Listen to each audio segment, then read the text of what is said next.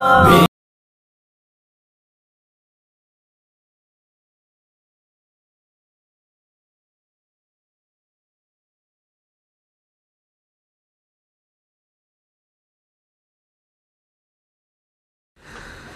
अहल तशी आलम ने दौरान तकरीर कहा कि हज़रत इमाम हुसैन रदी अल्लाह हो का सर मुबारक, जिसम से जुदा हुआ तो भी आप कटे हुए सर से कुरान मजीद पढ़ रहे थे क्या ऐसा मुमकिन है। बिल्कुल झूठ का है जी। कोई ऐसा मुमकिन नहीं है। और ना ये इस तरह की कोई ऑब्जर्वेशन इस वाले से दुनिया के अंदर करवाई जाएगी। ये बिल्कुल झूठ बोला है, जिसने भी बोला है। इस किस्म की बहुत सारे झूठ सारों ने इवन नबी इस्लाम के बारे में क्या आपको दफनाने लगे तो होंठ हिल रहे थे उम्मती उम्मती के अल्फाज आ रहे थे। बिल्कुल झूठ है।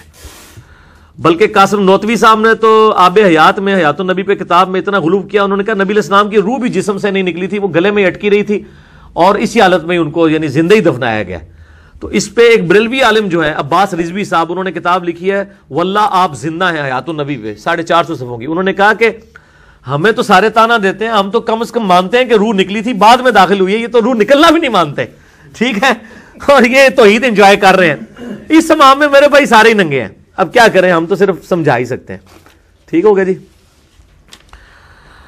इल्ला मा जहरा मिनहा, पर चारों मजाब का मौकफ। ये जो सूर नूर के अंदर आयात और सूरतुल आजाब के अंदर आयात आई हैं, पर्दे के एतबार से, मैंने इसके ऊपर मसला नंबर 161 ए और 161 बी डिटेल से रिकॉर्ड करवा दिया है। किताब सुन्नत के दलाइल में जो है वो इस हवाले से पूरी डिटेल्स मौजूद हैं, वो आप देख लें।